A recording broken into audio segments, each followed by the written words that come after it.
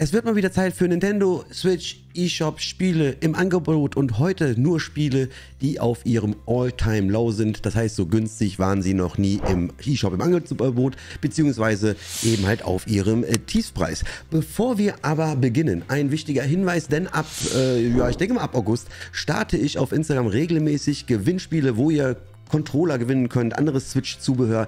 Deswegen, wer mir auf Instagram noch nicht folgt, Link ist unten in der Videobeschreibung. Wie ihr hört, ich bin noch ein wenig erkältet, war im Urlaub, kommt krank wieder und das ist eben das erste Video. Ich würde aber sagen, auch in den Sommermonaten können wir ein paar Switch-Spiele äh, benötigen. Bin noch nicht ganz warm.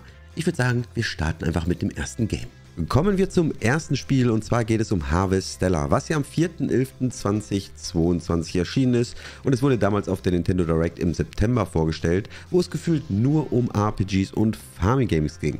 Ähm, es ist ähnlich wie Rune Factory, also Final Fantasy trifft Stardew Valley. Es gibt auch schon eine Demo, ich muss aber direkt dazu sagen, dass ich das Spiel noch nicht gespielt habe und auch noch nicht die Demo. Ich habe aber gehört, es soll eine relativ coole Story haben, ansonsten kann man halt noch farmen, angeln, Sachen finanzieren und seine Ausrüstung natürlich ver äh, verbessern. Ich hoffe nur persönlich, dass diese ganzen Farming-Elemente nicht so aufgesetzt sind und irgendwie mit dazugehören. Wer das Spiel schon gespielt hat, kann dazu ja mal gerne was in den Kommentaren schreiben. Das hilft dem einen oder anderen sicherlich weiter.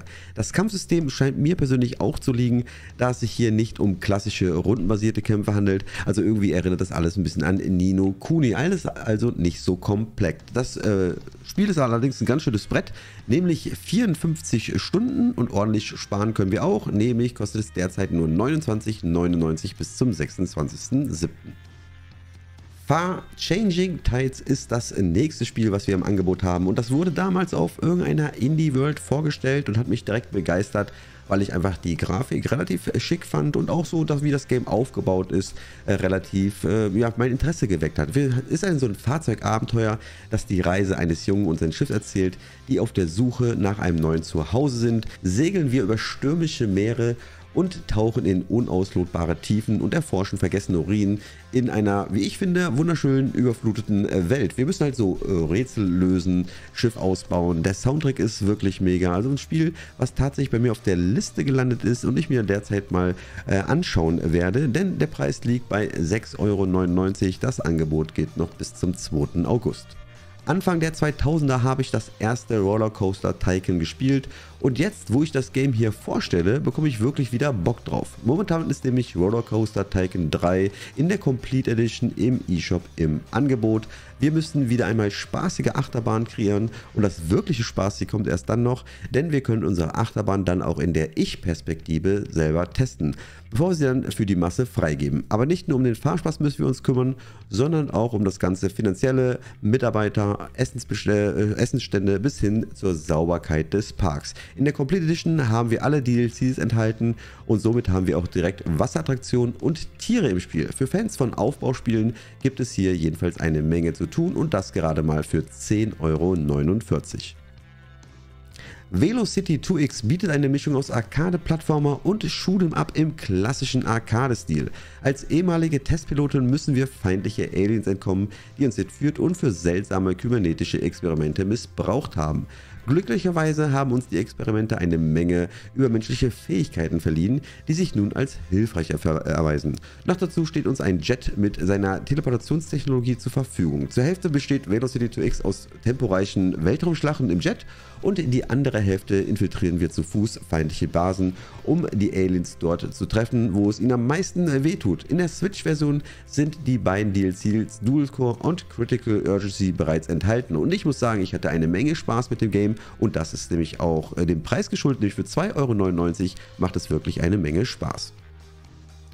Natürlich ist auch was für die Fans für Motorsport dabei und zwar in Gear Club Unlimited erleben wir die atemberaubende Welt des Motorsports. Wir können uns ans Steuer von renommierten Herstellern setzen und an über 400 packenden Rennen äh, teilnehmen. Wir können unsere Sportwagensammlung vervollständigen und so auch mit diversen Autos Gas geben. Natürlich können äh, wir die Fahrzeuge auch an unsere Bedürfnisse anpassen, wer das möchte, und ebenso auf unsere persönliche Präferenzen einstellen.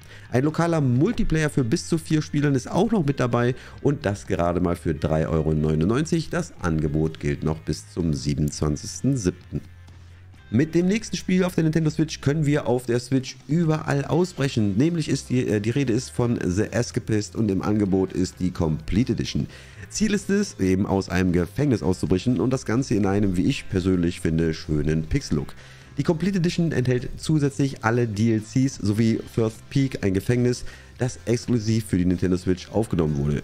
Die zusätzlichen DLCs sind Alcatraz, Escape Team, äh, Duct Tapes Are Forever und Santa's Sweet Tops. Sowie weitere Inhalte sind enthalten wie London Tower, Bandcamp, Jingle Cells, Paris Central Pen, was exklusiv nur für die Switch ist und First Peak, ebenfalls exklusiv nur für die Nintendo Switch. Und das Ganze ist derzeit für 2,99 Euro bis zum 11.08. noch im Angebot.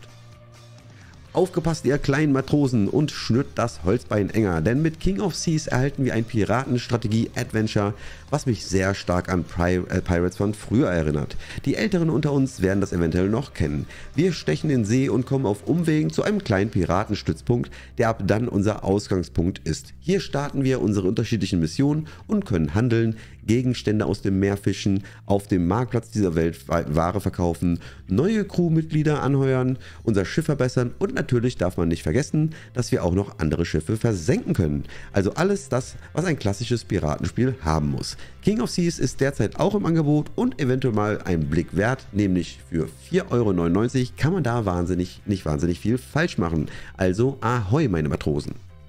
In Crypt of the Necrodancer schlüpfen wir in die Rolle eines Abenteurers, der sich auf eine Quest begibt, um seine verschleppte Mutter zu retten. Das Spiel kombiniert rhythmischen Gameplay mit Roguelike-Elementen und einer tiefgründigen Story. Wir müssen uns durch verschiedene Ebenen tanzen, kämpfen, indem wir unsere Bewegung und Angriffe mit dem Rhythmus der Musik koordinieren. Und tanzen, ja, das kann ich natürlich.